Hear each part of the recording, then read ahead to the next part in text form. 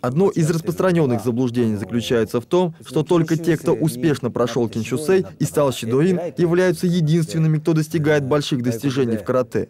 Это заблуждение и, следовательно, неверно. Во всем мире есть много людей, которые достигли успехов в области изучения и преподавания карате. Завершение курсов кинчусей и получение звания инструктор – это ступенька, а не самоцель. После завершения курсов выпускник отнюдь не заканчивает обучение. Он должен продолжить свое обучение и впредь опираться на силу и знания, которые он разработал в ходе своих тренировок на инструкторских курсах. Даже когда мы становимся инструкторами, наше обучение продолжается на ежедневной основе. Мы постоянно ищем личного развития в карате, как физически, так и духовно.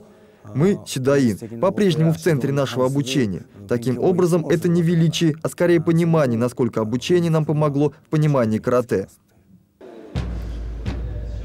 Пожалуй, одной из самых яростных тем для споров в современном мире карате является идея будо в современном мире и, как следствие, место спортивных состязаний в практике настоящего карате. Отсюда и все разговоры о новых методах тренировок, наличии тех или иных методик, являющихся, по мнению некоторых, совсем нетрадиционными, а следовательно, не имеющими права на существование в японском карате забывая при этом, что это самое карате, в частности стиль Сётакан, был разработан в Японии, и что далеко не так хорошо быть японцем больше, чем сами японцы. Удивительно, но в то время как сами родоначальники карате идут вперед, стараясь развиваться, не отставать от остального широко шагающего мира, некоторые ученики жарко обсуждают вопрос «быть или не быть», «будо или не будо», не замечая, что, может, сами того не желая, пытаются идти с мечом на танк. То есть бедро должно разворачиваться за лапой. Не, не перед лапами должно оставаться. За. Таким хранителем от традиций стоит задуматься и вспомнить, что Япония является весьма замкнутой страной, замкнутой на своем собственном «я», и для японцев важно быть, а не казаться, и что дух сильнее мысли.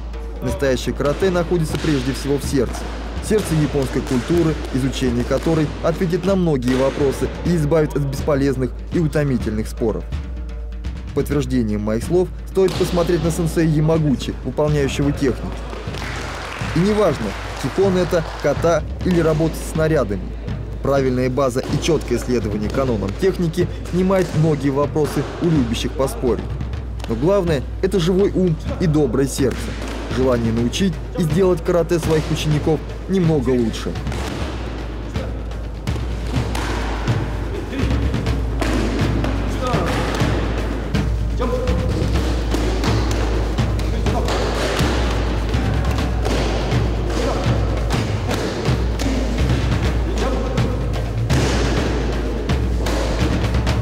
Карате の試合というのは Соревнования в карате являются только одной небольшой частью системы.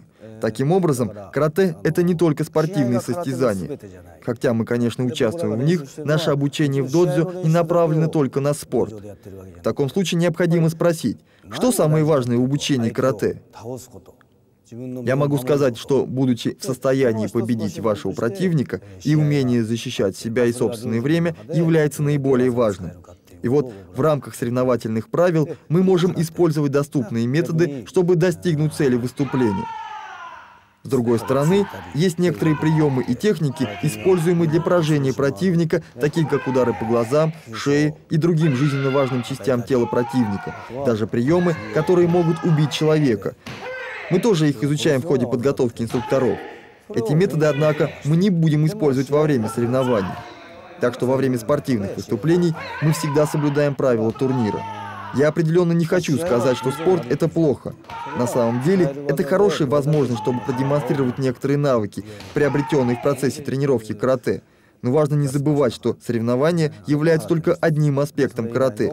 И есть много других аспектов будо, которые мы изучаем в ходе нашей подготовки, в том числе духовные аспекты и аспекты бытия как и другие способы победы над противником. Например, как я говорил раньше, изучение тех техник, с помощью которых можно победить на соревнованиях.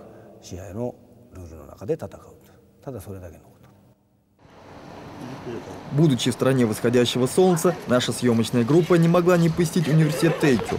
Этот университет закончила большая часть инструкторов Хомбу Доджо JKS. И не случайно. Именно Тейку закончил сам сенсей Кагава. технический директор JKS. Каждую неделю сенсей Кагао приходит в зал, чтобы провести тренировку. Стоит сказать, что тренировка эта чудовищна по сложности и моральному давлению. Студенческие клубы карате являются настоящей кузницей чемпионов Японии и мира. Уже знакомый нам Камал Хэллоу, выпускник Кинчусей курсов, руководитель GKS на Ближнем Востоке, рассказывал, что по приезду в Японию он полгода прожил с чемпионами университетского клуба карате в общежитии, которое было отведено только для членов команды. Уборка, приготовление пищи, стирка, тренировка, уборка додзю наряду с учениками первого года обучения, а также их обучение английскому языку. Вот какой был его распорядок. Эта университетская система была создана основателем карате сенсеем Фунакоши Гичин, который первым начал преподавать карате в Японии. Эта система направлена на укрепление командного духа и связи между ее членами в системе сэмпай-кохай, старший ученик, младший. Как бы трудно это обучение не было, на его взгляд, такая подготовка является необходимой и неизбежной для того, чтобы в полной мере понять эту методологию и образ жизни и подготовить себя для перехода на следующий этап. Университетское карате с момента зарождения являлось спортивным в большей мере, чем его гражданские аналоги. Молодым людям просто необходимо доказывать себе и другим, что они лучше. Благодаря университетским клубам и их выпускникам за карате Шутакан твердо закрепилась слава спортивного. И отчасти это правда. Но опять же отчасти. Не будем забывать, что мы в Японии, а следовательно, как бы не совсем на земле, в привычном для европейцев понимании этого слова. Сенсей и их ученики в доте, подобно Тейку Дайгаку, вероятно, даже не поймут вас, если вы заговорите о спортивном карате. Для них все по-настоящему. Тренировка, будо, жизнь.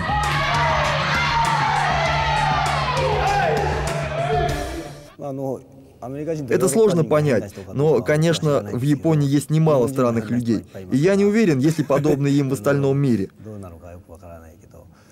Однако в Японии они определенно есть. Как я уже говорил раньше, то карате, которое мы тренируем в JKS, или карате в целом, не только для спортивных состязаний. Мы также оттачиваем свои навыки для духовного развития и чтобы победить соперника. Поэтому карате изучает широкий круг лиц, которые имеют различные цели в своих тренировках. Есть некоторые люди, которые тренируют карате исключительно для соревнований. Конечно, это в основном молодые люди, полные здоровья и силы. Но те, кто начинают заниматься в возрасте, занимаются скорее для своего здоровья и чтобы уметь защищать себя. Родители могут выбрать тренировки по карате, чтобы их дети посредством занятий узнавали больше об этикете, для хорошего поведения и хороших манер. Слишком много людей, слишком много разных причин. И нет одинаковых причин, по которым люди начинают заниматься. Таким образом, в зал приходят люди разных возрастов, и нам, инструкторам, очень важно понимать это и обучать карате во всех его аспектах.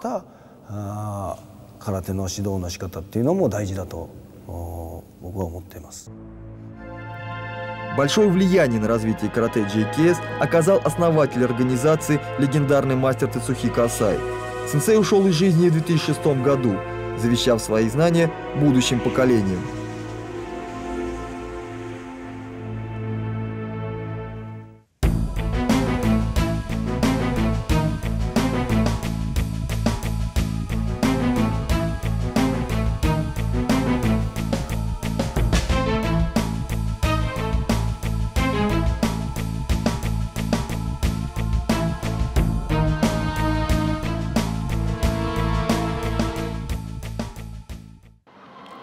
Виртуозная техника сенсея Асай вызывает изумление даже у опытных спортсменов и инструкторов. После окончания университета Такусёку в 1958 году мастер Накаяма настоял на том, чтобы тот продолжал занятия карате. Это был золотой век с большим разнообразием сильных и необыкновенных личностей. В 1961 году перед коронованным принцем Японии сенсей Асай стал абсолютным чемпионом в ката и кумите. Ежедневно он просыпался в 5 часов утра и упорно тренировался по два с половиной часа. Сенсей видел эти тренировки естественной частью жизни. Они придавали ему качество, отличающее его от большинства. Даже после 50 лет тренировок он чувствовал, что очень важно не только стараться, но и продолжать развиваться. Путь к этому — думать о том, что мы делаем, и создавать наши личные техники. У нас сегодня должно получаться лучше, чем вчера, и завтра лучше, чем сегодня.